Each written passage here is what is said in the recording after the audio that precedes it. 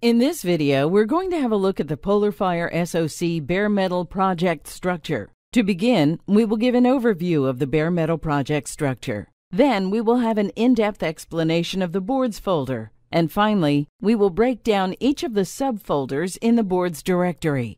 In a PolarFire SoC bare metal project, there is the platform layer and the platform configuration layer.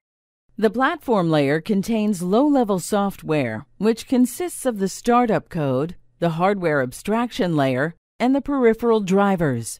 Secondly, in the platform configuration layer, there are the source files that are generated from the MSS XML document by configuration software to suit the target board. Here we can see the bare metal project structure. Inside of the source folder, there is a platform folder to represent the platform layer. This contains the driver source, the hardware abstraction layer code, and other configuration files. Also inside of the source folder, in the boards folder, you can have multiple subfolders. Here we have one setup already called Icicle Kit ES. In here we have the platform configuration to represent the platform layer. This folder will contain the custom files for this design.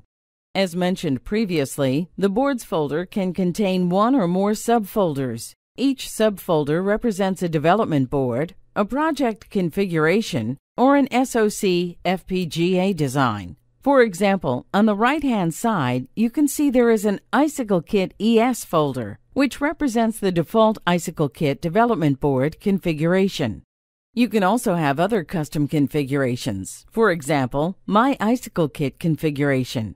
Inside of the board folder, you must have an FPGA design subfolder and an FPGA design config subfolder. Optionally, you can have a platform config folder to further customize your design. The first mandatory subfolder is the FPGA design folder. This contains the configuration files related to the SoC FPGA design. This folder contains an XML subfolder called Design Description. The Design Description folder contains the MSS configuration description file in XML format, which is generated by the MSS configurator. The XML is used to generate header files required by the hardware abstraction layer to configure the SoC.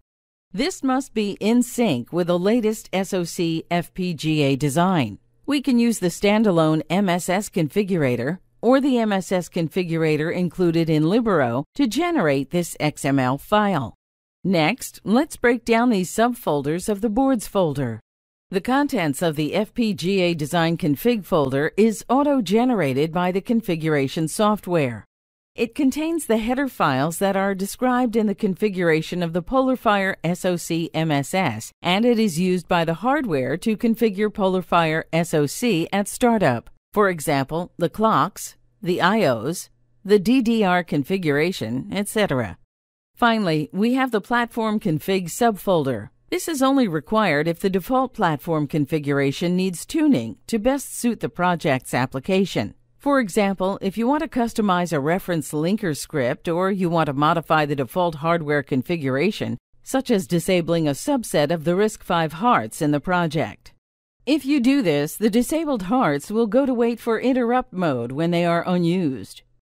You might want to do this if you disable Hart 0 to allow the HSS to run in that particular hart, or if you are in an AMP build and you want a specific hart to be running another application.